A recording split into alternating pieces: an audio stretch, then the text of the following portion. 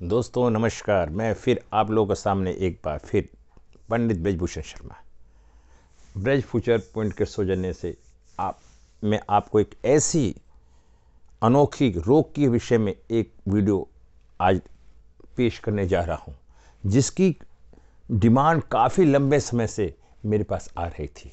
और आज के वर्तमान माहौल में इस रोग की बारे में हर व्यक्ति जानना चाह रहा था।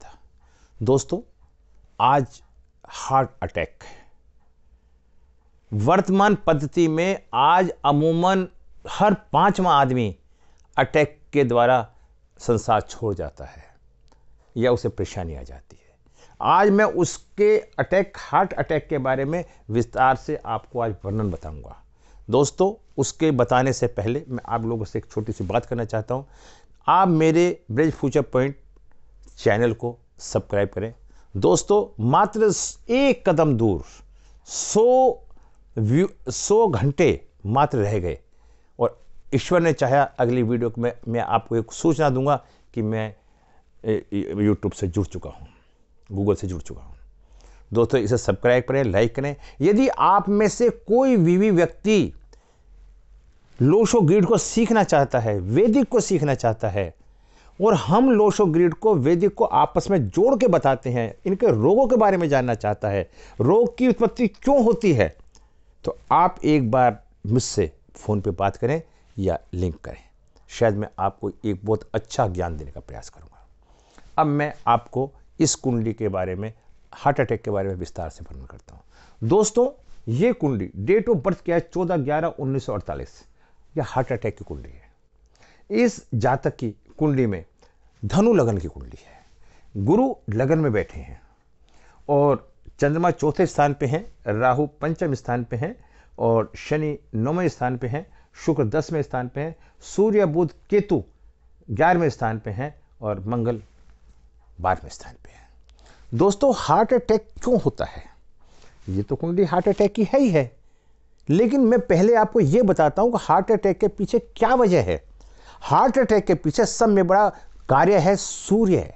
सूर्य पाप ग्रह से पीड़ित हो। सूर्य नीच का हो। सूर्य राहु केतु से पीड़ित हो। सूर्य शनि से पीड़ित हो। अगर सूर्य किसी भी दृष्टिकोण से पीड़ित है कुंडली के अंदर तो उस व्यक्ति को अटैक होने की संभावना सेंट परसेंट पाई जाती है।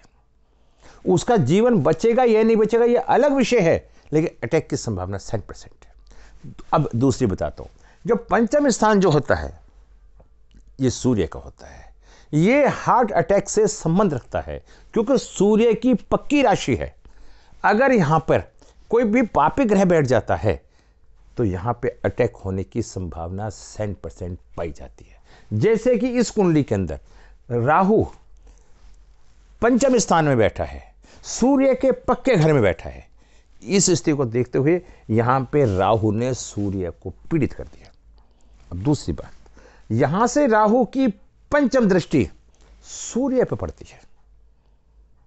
सूर्य पे पड़ती है, सूर्य के घर पे पड़ती है, सूर्य पे पड़ती है यह सूर्य की राशि है पाँच नंबर। और सूर्य यहाँ से कहाँ बैठा है? सूर्य ग्यारहवें स्थान में बैठा है और नीच का होकर बैठा है। और सूर्य के साथ कौन बैठा है? केतु बैठा है। अभी मैंने आपको क्या कहा था? राहु, केतु, शनि, अगर सूर्य को प्रभावित करते हैं तो ऐसे व्यक्ति को हार्ट अटैक होने बीमारी होने की संभावना रहती है। तो इस कारण से इनके यहाँ सूर्य पीड़ित हुआ यहाँ सूर्य नीच का हो गया। दोस्तों मैं आपको बताना चाहता हूँ राहु केतु अचानक घटना घटाते हैं अचानक दंगा करवाते हैं अचानक बलवा करवाते हैं अचानक ऊपर से नीचे गिर देते हैं और अचानक नीचे से ऊपर उठा देते हैं।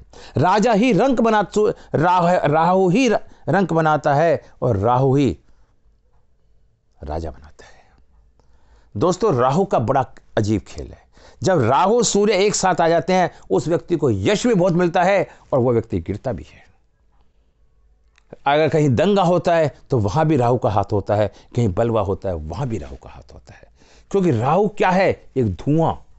अगर राहु को व्यक्त हम जान जाते हैं तो राहु से बनने वाली सारी बीमारियों के बारे में हमें ज्ञान हो जाता है। राहु सूर्य के साथ बना के ग्रहण दोष बनाता है, चंद्रमा के साथ मिलने के बाद भी ग्रहण दोष बनाता है, और अगर मंगल के साथ जुड़ जाता है तो अंगारक योग बनाता है, और बृहस्पति के साथ जुड़ जाता है तो चंडाल दोष बनाता है।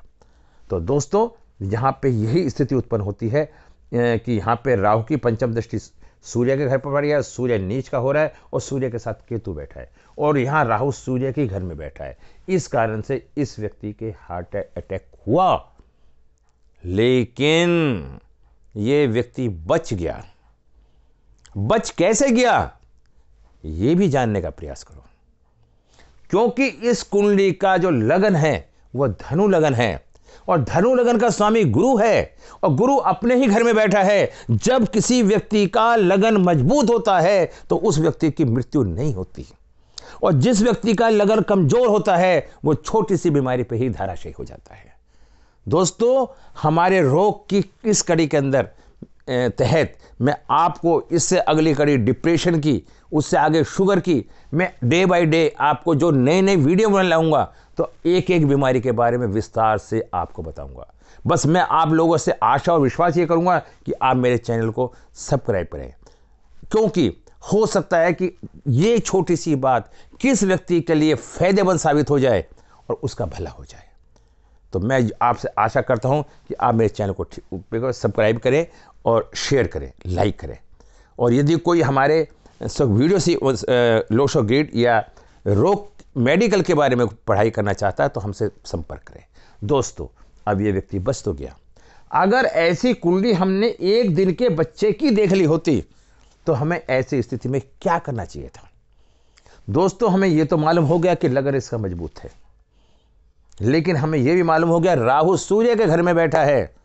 और हमें यह भी मालूम हो गया कि सूर्य नीच का है। तो ऐसी स्थिति के अंदर हमें समय पहले, बड़ा उपाय क्या करना चाहिए था?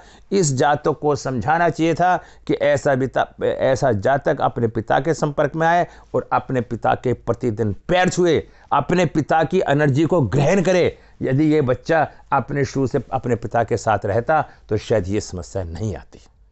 दूसरी बात, यहाँ राहु का शांति का उपाय करने चाहिए।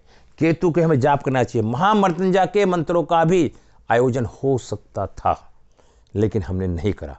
अगर इस तरह की कोई कुंडली देखते हैं तो इसमें इसमें हम एक एक, दो, तीन, शनि की भी तीसरी दृष्टि पड़ रही है।